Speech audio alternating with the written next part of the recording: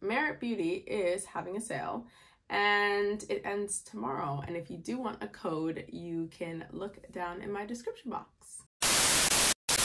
Hey guys, welcome back to my channel. It's Miss King's World and today I'm going to be filming a video for you, which I know is rare.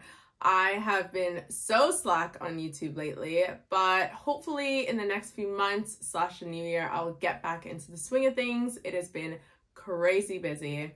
So today I'm going to be showing you a get ready with me, kind of how I've been doing my makeup lately, as well as trying some new products, which I haven't done in ages, and just talking through where I am in life, and maybe this is something that will resonate with you. Without further ado, let's just jump right into the video.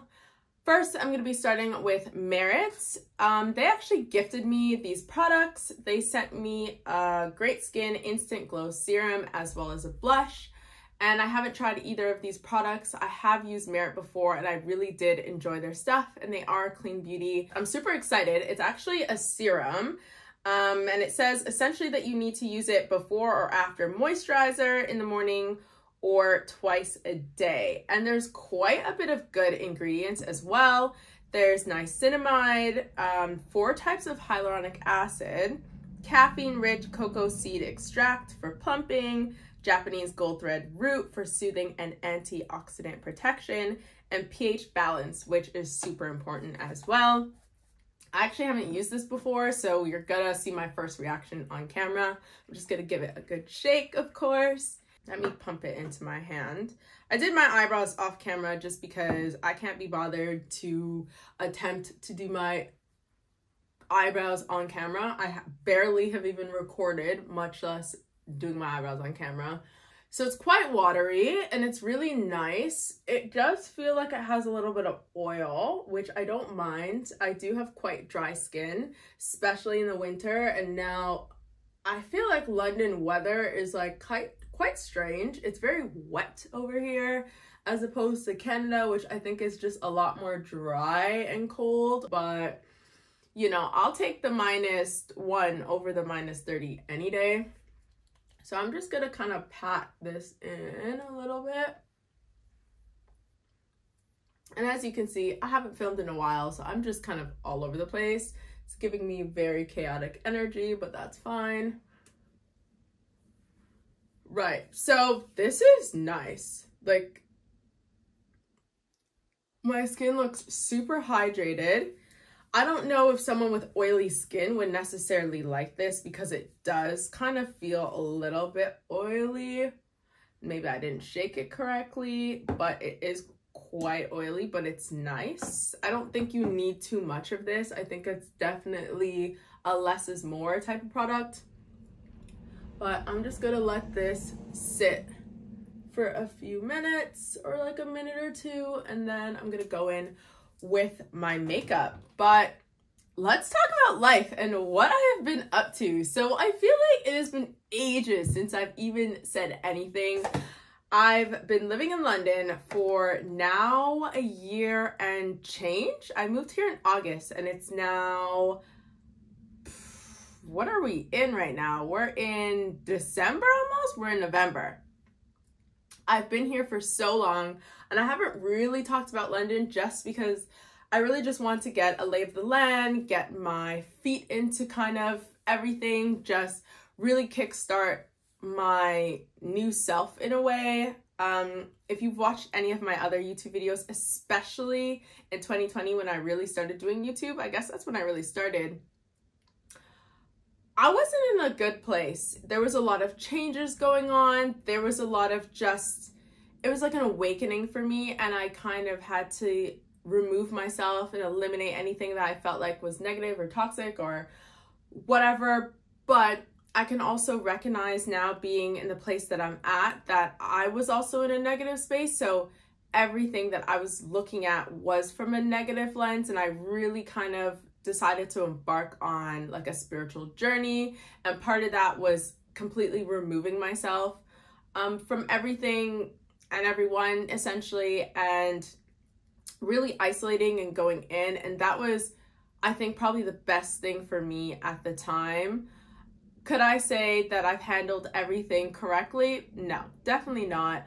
I think it's one of those things where everyone has to go through their own process and whatever that may look like to you is whatever it looks like to you and you can't really it's your own journey at the end of the day and so you have to embark on it and people might not understand your family might not understand you might not understand but there's always like a greater purpose and things end up working out and i'm quite grateful that i did do that and i used that covid period to really kind of reflect on myself and i do feel like i'm so different than I was in 2020. Like thinking about it, like, it honestly it crosses my mind so often. It's literally night and day. So yeah, I feel like one tip of advice that I would have for anybody is that if you're feeling some type of way or you're unhappy in your situation, it's really important to go inward and really try to reflect on yourself and reflect at where you are in life and where you want to be and kind of make those changes. Going into the unknown is so scary, but sometimes it's for the best. And that's really how I had to look at things. So, really quickly, this is kind of how I do my concealer now. I usually just do a little bit on the corner and under here and down here as well on the sides. I also try to get rid of any darkness um, so I have a few scars and stuff right now, and I tend to be a little bit more discolored or darker here, so I try to even that up. And I'm using Auntie Pat. She has not failed me, and I am just so, I'm just sticking with her because this concealer is so bomb. It is creamy, it dries down so nice. I've used this before. It's been my holy grail for the last two years, I would say, and I'm in the color MD26. So yeah, I usually put that on, let it sit for a moment. And if I want extra coverage, I'll just rub a little bit on the back of my hand. And I'll just use my Beauty Blender, which is trial and true. I will not switch up on the Beauty Blender. This one, I just washed it, so it is a little bit wet. So I feel like going straight in with the product, it kind of removes the product. You kind of want to let it sit for a little bit, let it dry down, then go in with the product and I start with the places that can have a little bit more lighter coverage. So my chin is fine if some of the product is removed as opposed to maybe underneath my eyes where I'm gonna want a little bit more coverage. So I usually start here and just kind of build that out. And I've completely given up on foundation. The only foundation that I really, really liked for the last time, or I guess the last time I've used foundation was the Giorgio or Armani Luminous Silk Skin. Amazing. But lately, I just haven't really been into foundation. So yeah, it's just more of a concealer thing for me, a little spot conceal. I have a few pimples that I always get right here in the middle of my forehead. I call them my third eye. And I'm gonna let my under eyes dry a little bit more while I blend that out. But as I was saying, lots of changes. I've been living in London now for almost, I guess almost two years. And I like London, but know. I feel like it's one of those things where anytime you visit a place, it always ends up being super, super amazing. But actually living there is a little bit different. I don't know. I think people aren't completely themselves here. I think it's a little bit of a facade that kind of people put on. And everyone drinks a lot. There's a huge drinking culture here. And as much as I liked that maybe in the beginning, because I was like, ooh, everyone's a little bit more chill and stuff eventually it gets a little tired and old. Like I am older. I'm not like 22 where I'm like, ooh, drinking all the time.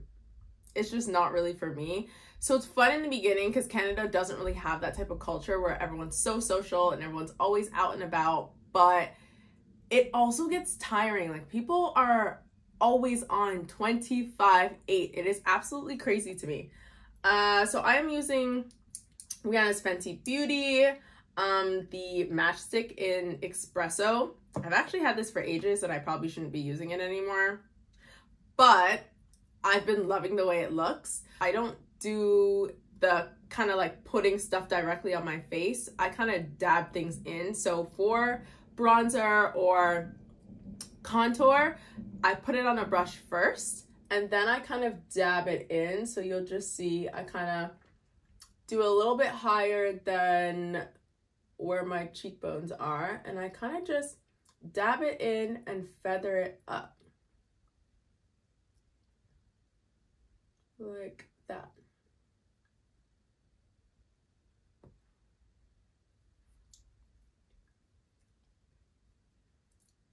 And I noticed that it just looks so much nicer. Obviously, it's going to be fixed up here, but it's bomb. And this is really nice. The Merit Beauty, I feel like it gives my skin kind of a little bit nicer of a base where things are kind of just gliding over it, which I really like.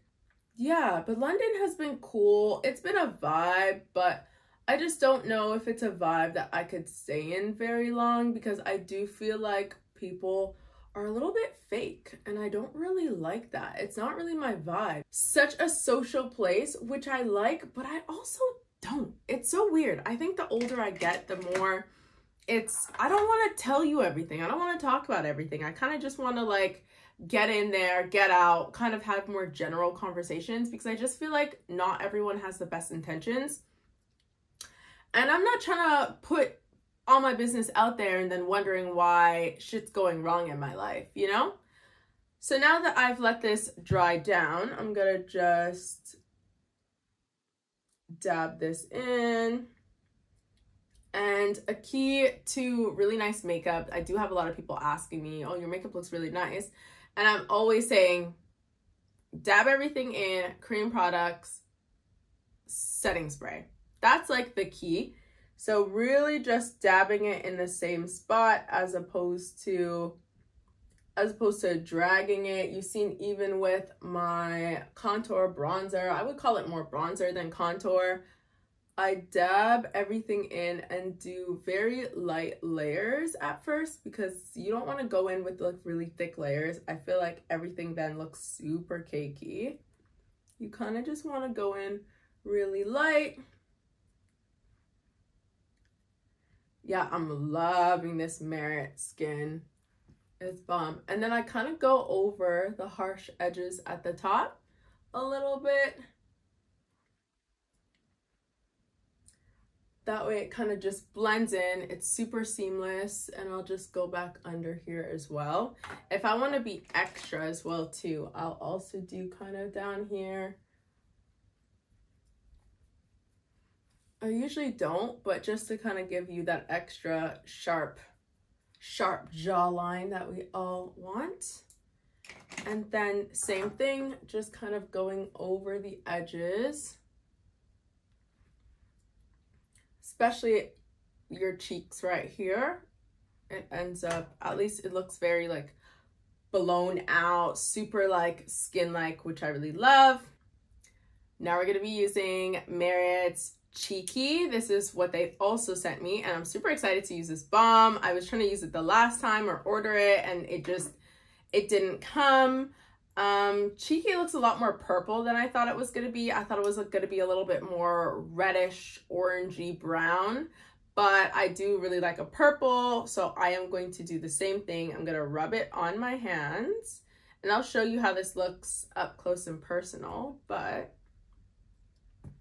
I don't know if it picks up on that product. Ooh, it does. Bomb. I'm actually using an iPhone to film this, so I just wanted to see how it would look. But I'm going to use my fingers. Oh, this is nice. It has a little bit of sparkle, like a little natural highlight, which I don't mind. That's another thing. I've been laying off the highlighter. I still use it, but I don't use it in the same way that I used to use it, where which it was like super highlight, super highlight here. It's just too much right now. I just, I don't know. I think after COVID, people have kind of laid off of being super dolled up all the time. But this is really pretty.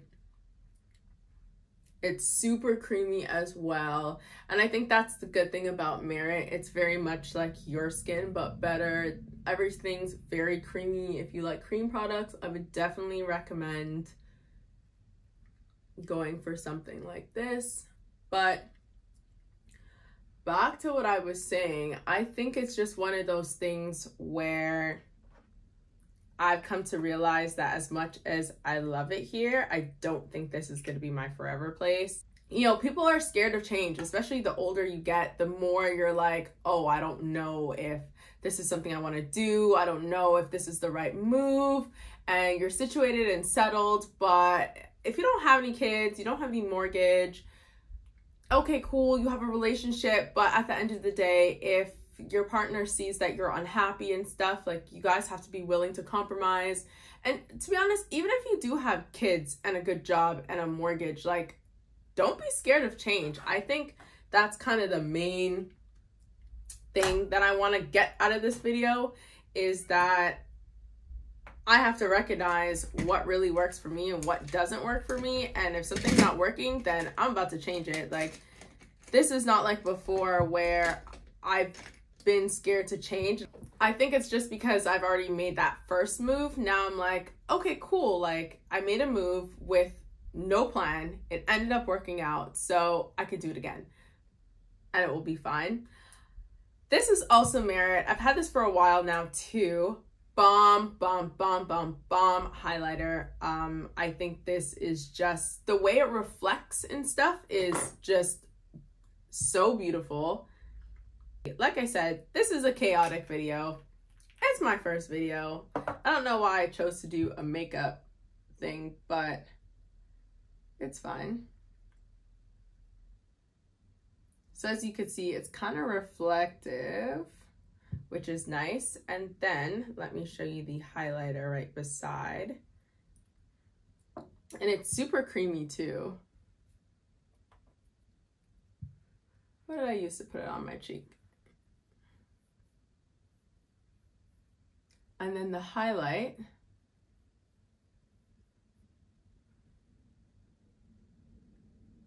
It's like super reflective, but if you kind of blow it out a little bit or rub it out, it's still white, but it's more like, it almost looks like dewy skin. If you could focus. Yeah, it almost looks like more of a dewy skin look, which I love. So with this highlight, I try to stray away from doing the most. Right now, I really only put a little bit underneath my eyes.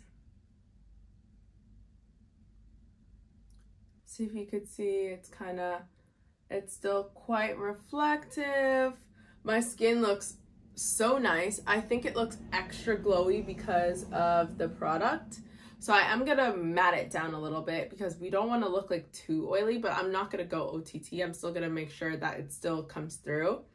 I put a little bit on my nose like this and a little bit down my nose and then I just tap it in like that. I'm also going to go back in a little bit with the bronzer. And I kind of use the fat brush still because I just feel like it still kind of gives it, again, more of just like a more everything's just airbrushed and not so much harsh lines, which I try to stay away from. I'm gonna tap it into my hand and then I'm really gonna go down the sides of my nose, down here, up here, and then I kind of just tap it into the sides, but mostly at the top.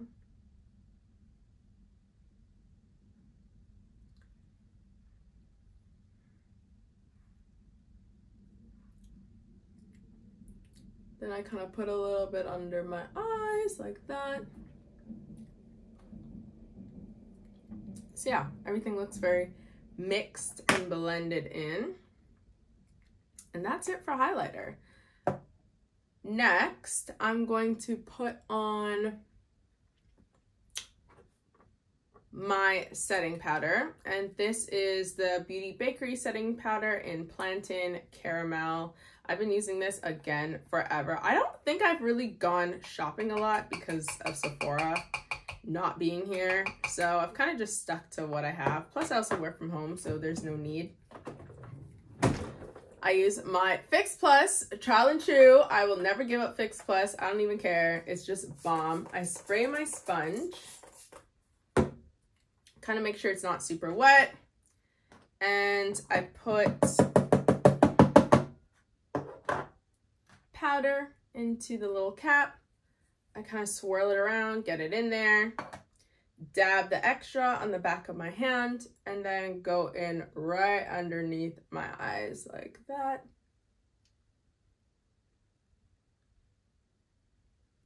So it kind of gets rid of that shininess and I kind of just tap over everything. Mm. I think I'm going to go with more of the purpley one and then mix it with another eyeshadow that I bought that I've had for a while. So I think I'm going to mix these two. Let me show you to kind of recreate that color. And I'm only going to put a little bit so that the merit can kind of just remain the star of the show. But just so it sets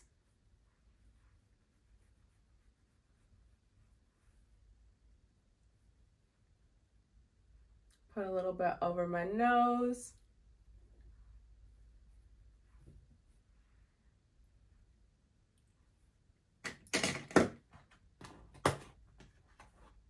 And I think that looks bomb. And to be honest, that's kind of it. Add a little bit of Fix Plus.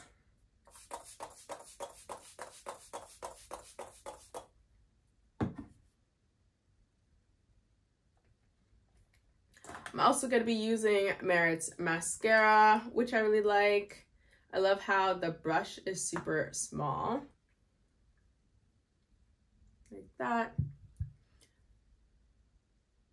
And I don't really add too much. I've really been loving um not full eyelashes, like half lashes. I feel like it definitely gives you a more natural look.